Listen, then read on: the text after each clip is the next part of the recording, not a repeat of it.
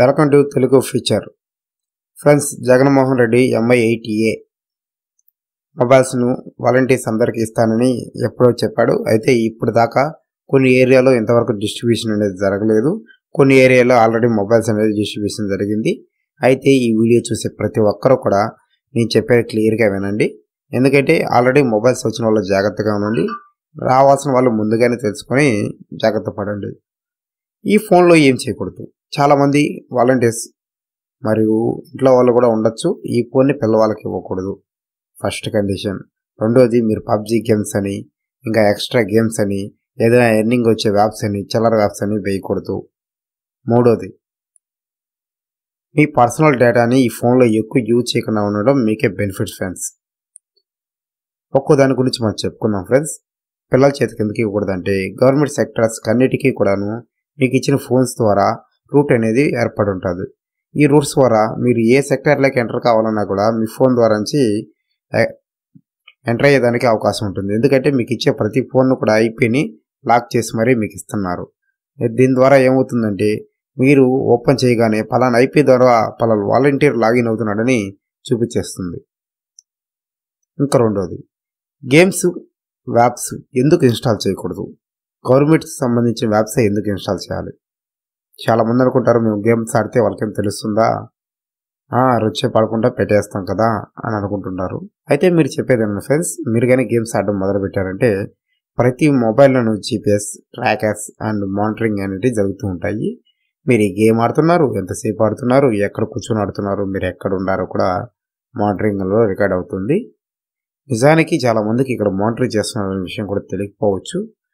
కాబట్టి మీరు జాగ్రత్తగా మొబైల్ని పర్సనల్ డేటా యూజ్ చేయడానికి యూజ్ చేయొద్దు. మీ దగ్గర ఆల్రెడీ మొబైల్స్ ఉంటే దాంట్లోనే యూజ్ చేసుకోండి. మీ సిమ్ని ఇది ఓన్లీ అఫీషియల్గానే వాడుకోండి ఫ్రెండ్స్. ఎందుకంటే మీకు ఇబ్బంది ఉండదు. కావాలంటే నెట్ షేరింగ్ తీసుకొని అంతగా మిగిలితే వాడుకోవచ్చు.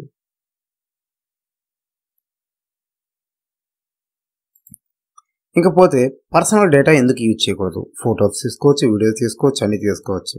కానీ ఫ్రెండ్స్ ఇది పర్మనెంట్గా మన దగ్గర ఉంటుందని నమ్మకం లేదు.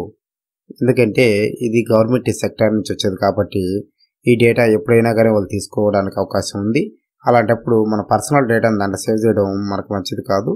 మీ పర్సనల్ ఏమైనా మొబైల్స్ కానీ ఉంటే వాటిలో సేవ్ చేసుకోండి. ఇంకా మొబైల్స్ ఎవరికాడ లేని వాళ్ళైతే చేసుకోవచ్చు. కాకపోతే ఒక ఎస్డీ కార్డ్ యూజ్ చేసుకోండి. రేపు ఏదన్నా ప్రాబ్లం వచ్చినప్పుడు ఆ ఎస్డీ కార్డ్స్లో స్టోరేజ్ చేసుకొని మొత్తం డేటా తీసుకొచ్చుకోవచ్చు. మీ యాభై కుటుంబాలకు సంబంధించిన డీటెయిల్స్ అన్నీ కూడా దాంట్లో ఎంటర్ చేసి పెట్టుకోండి. ఎందుకంటే రేపు ఎప్పుడైనా ఎంటర్ కావాలన్నప్పుడు మీ దగ్గర అన్ని డీటెయిల్స్ ఉంటాయి.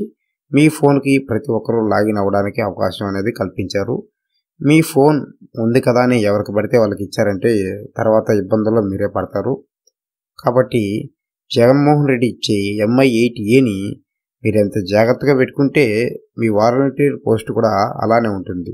ఒక ఇన్ కేస్ ఏదన్నా ప్రాబ్లం జరిగింది అది మీ మొబైల్ నుంచే కానీ జరిగింది అంటే పూర్తి బాధ్యత మీదే అవుతుంది. ఎందుకంటే అప్పుడు పిఎస్ కానీ పంచాయతీ సెక్రటరీస్ పిఎస్ కానీ లేదా అక్కడ సంబంధించిన పెద్ద అధికారులు కానీ ఎమ్మెల్యేలు కానీ మిమ్మల్ని ఏం చేయలేరు. ఎందుకంటే అది గవర్నమెంట్ సెక్టార్కి చాలా లోటు బడ్జెట్ని ఏర్పరుస్తుంది. దీన్ని బట్టి అందరూ మీకు హెల్ప్ కూడా చేయకపోవచ్చు. కాబట్టి కొంచెం ముందు జాగ్రత్తతో ఉంటే ఈ చర్యలన్నిటికీ కూడా మీరు సానుకూలంగా ఉండొచ్చు. ప్లస్ మీకు ఏ ఇబ్బంది కూడా కలగదు.